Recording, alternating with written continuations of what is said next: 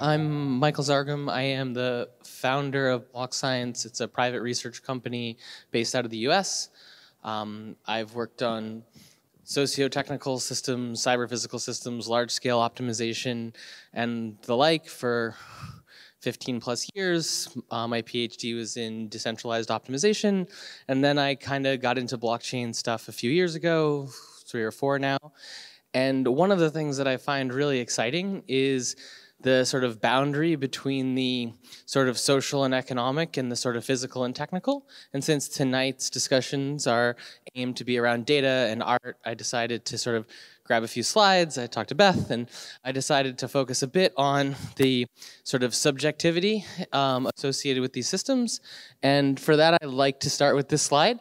Um, I usually use it in the context of engineering when I talk about the things that we build, actually reshaping the world that we live in, that we in turn adapt to them. This is common in the discussion of incentives and the various things that people do with token system designs, but also the things that we do to sort of reshape the, the things we're even able to do. So, uh, you know, a peer-to-peer -peer system can actually allow you to transact with each other in a way that, you know, prior to its existence was just not available to you, which is a separate step from actually being incentivized to do it.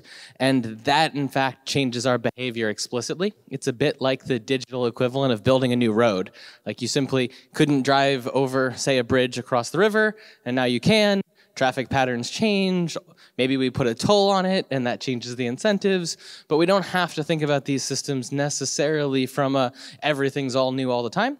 And I think in particular when we talk about art, I think things actually have changed less in some way because the underlying sort of value is um, very similar and that what we're going to talk about today mostly is the way that these systems are actually um, bridging the, the social and all the way to the physical. So this slide I use frequently to talk about the layers required to kind of adjust the way that a system works. In the blockchain Web3 world, our lowest level is this sort of trusted data.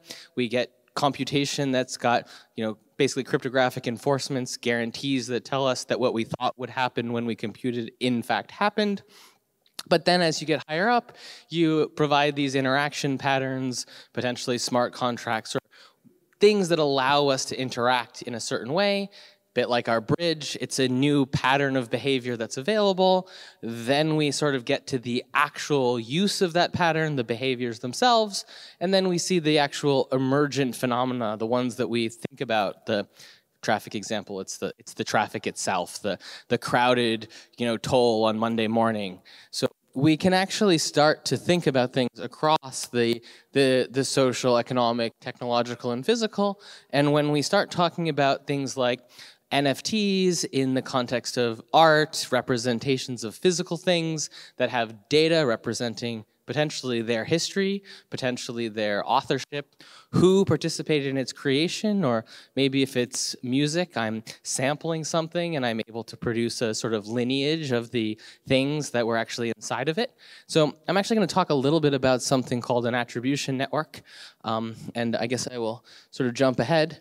Um, yeah, I'll hop through this. I'll come back to it. So an attribution network is essentially the um, the provenance of a piece of, of, of, data or a provenance of the contributions, the, the data about the things that people did to create something.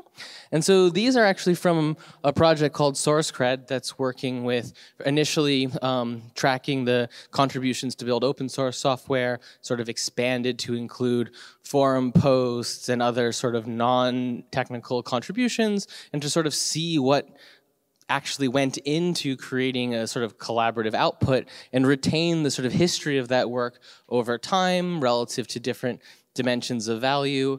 As part of the process of creating this thing, some very subjective decisions were made.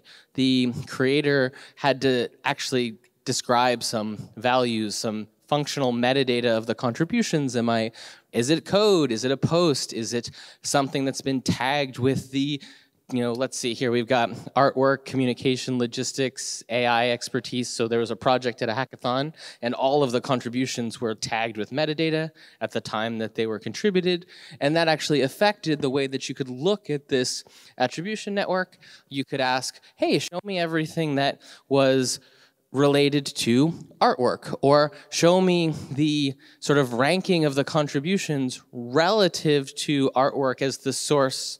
And, and this is important. It's a bit like a PageRank algorithm where you can actually pick a node in the graph and ask how the different individuals or the different contributions actually related to that um, to that keyword or that metadata. And so what you're starting to do is create a high dimensional data model that represents a creative process over time across multiple people and that this is actually fundamental to the way that um, we value the things that we create because creating an art is inherently social. You actually care about who made it.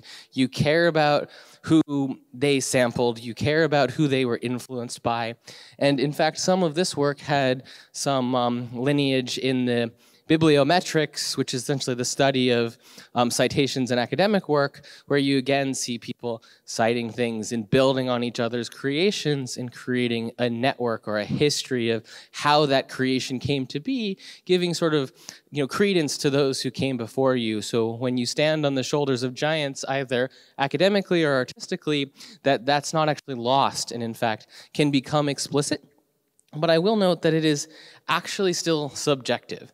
So this thing, it's pretty high dimensional data set. The, the rules, the metadata, the things you can contribute, what counts as a contribution, who has the right to contribute, etc. These are actually subjective choices by the designer of these systems. And so we actually can't ignore their effects on the processes themselves.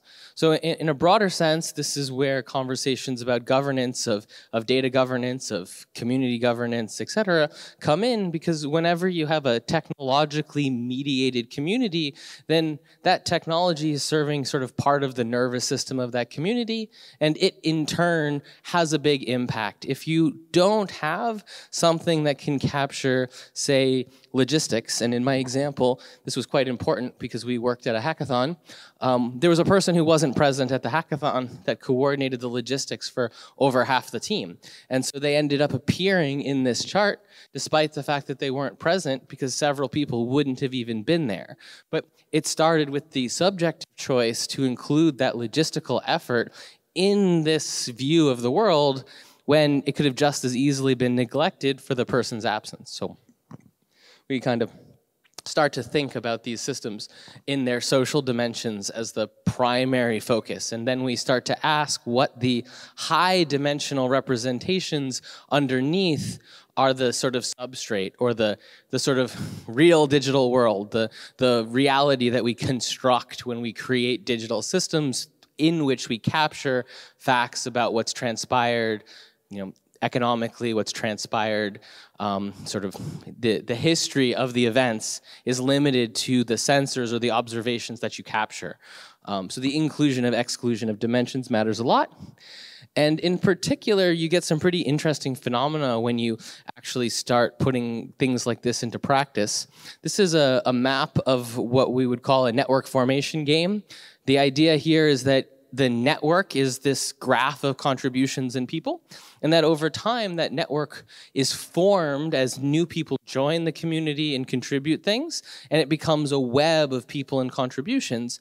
But what's interesting is because the rules about what it means to contribute are actually mutable by the curators or maintainers of the system we end up with this sort of game between contributions and sort of maintenance of what it means to contribute. And in the design of this particular system the goal is actually to make this a nice balance of power where it's not like the maintainers or curators are forcing anyone to do anything in particular, but they are defining what this community considers value. And then in return, you'd expect people's contributions to be things that the community considers valuable.